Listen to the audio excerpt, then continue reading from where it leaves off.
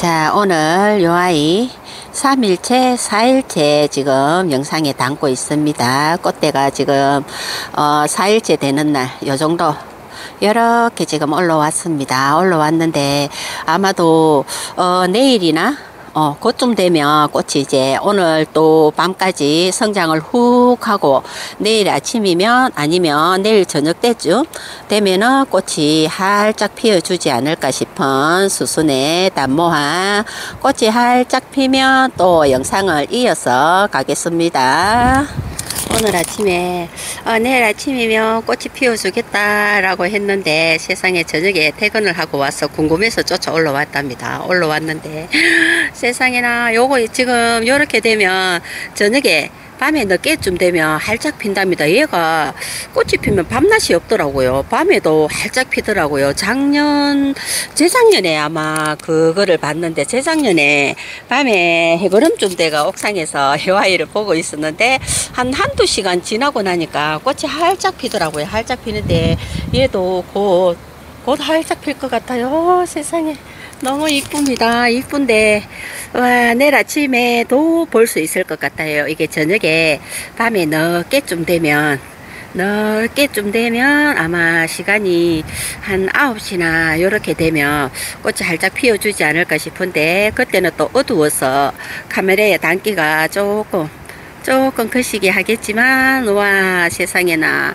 이렇게 저는 한 내일 아침이나 아침쯤이나 되면 피워줄란가 했더니 세상에 저녁에 이렇게 지금 몽우리가 살짝 피어나기 시작했습니다. 이 아이 또 꽃이 활짝 핀 모습을 담을 수 있으면 담아서 함께 또 보여드리도록 하겠습니다. 지금 여기도 이렇게 지금 꽃대가 올라오고 있고 요게 아마도 이렇게 지금 꽃이 활짝 피고 있는 요 모습이 지고 나면 저 아이들도 훌쩍 자라지 않을까라고. 와 여기가 장소가 조금 이렇게 카메라에 담기 조금 거시기 하기는 하지만 그래도 그래도 또 이렇게 이쁜 꽃들만 꽃들만 봐주세요. 주위 환경은 빼고. 와 정말. 자이 아이 활짝 피면 또 한번 담아 보겠습니다 안녕하세요. 수수꽃다리입니다. 오늘도 날씨는 억수로 좋을란가 봅니다. 날씨도 좋고 기분도 좋고 아주 상쾌한 그런 날. 그런 날이 될 것 같고 어, 그저께 요 아이들 비를 비를 상당히 많이 맞았죠. 비가 제법 많이 왔습니다. 비를 맞고 다행히도 어저께 어저께 바람이 굉장히 많이 불어줘 가지고 다행이라고 생각을 하고 아마 어, 물마름이 굉장히 좋았지 않을까 싶고 오늘 아침에는 또 출근하기 전에 요 아이 야야 보세요. 너무 예쁘지 않나요? 세상에나. 소수가 다육이는 거의 다육이 꽃을 보지는 않는답니다. 않는데 요 아이만 요 아이만 절대로 꽃을 꽃이 이렇게 꽃대가 길게 나와도 꺾어주지 않고 요 아이는 끝까지 꽃을 보는 편이랍니다. 요 아이 이름이 조안 다니엘 목대 한번 보세요. 세월이 느껴지시죠? 여기 막 여기 마감토 위에 뿌리가 요 위에까지 올라와 가지고 요렇게 요 위에까지 이렇게 올라와 가지고 정말 오래됐다는 오래 묵혀졌다는 그런 느낌이 들고요. 요 아이도 요것도 꽃이 피면 상당히 예쁠 것 같아요. 몽글몽글 이렇게 꽃송이를 많이 물고 아이고 예쁘라. 자 아침에 조한 다니엘 꽃도 보시고 힐링도 하시고 또 수수랑 함께 해주시고 자 이렇게 또 아침에 주저리 주저리 두서없는 이야기 시작합니다. 요 아이 보세요. 요 아이가 베르테르 수신에 와가지고 비를 어묵 많이 맞았습니다. 벌써 뭐 네 번, 다섯 번, 그 정도는 비를 맞은 것 같아요. 그렇게 비를 맞고 지금 성장을 보이는 것 같습니다. 처음에 올 때 요 위에 마감토가 굉장히 많이 보였는데 지금 집이 비좁아져 가고 있다는 그런 느낌이 들고요. 여기 이 아이들. 작년에 몸살이, 몸살아리를 굉장히 많이 해가지고, 어, 잎장을 다 떨궈버린 아이들. 이 아이들이 호피 복랑금. 이 아이들도 위로 땡겨 올렸습니다. 햇살을 많이 보라고 아래층에 있다가. 와, red dragon. Red dragon도 역시 예쁘고, 그리고 이 아이. 이 아이가 하늘이 뻥 뚫린 자리에 있는 아이를 데리고 올라왔습니다. 색감도 너무 이쁘고 이제 지금부터는 목이 막 칼칼해 또 그렇게 되네요. 지금부터는 이제 색을 싹 빼버리지 않을까 날씨가 계속 좋아지고 이번 주 날씨가 이번 주부터 다음 주 다음 주에는 뭐 낮 온도가 30도까지 올라가는 날이 굉장히 많네요. 그런 날들이 많아서 이제 차츰차츰 색을 빼버릴 기기 때문에 이렇게 목이 너무 잠기고 해서 잠시 끊었다가 다시 왔습니다. 그래서 이 아이 오늘 어, 카메라에 오늘 출연을 한번 시켜보자 해서 옥상에 올라올 때 들고 올라와 가지고 이렇게 또 카메라에 한번 담아 보고요. 오늘의 주인공은 이 아이들도 조한 다니엘도 아니고 따로 있습니다. 그 아이를 보러 가실게요. 자, 짜잔. 예쁘죠?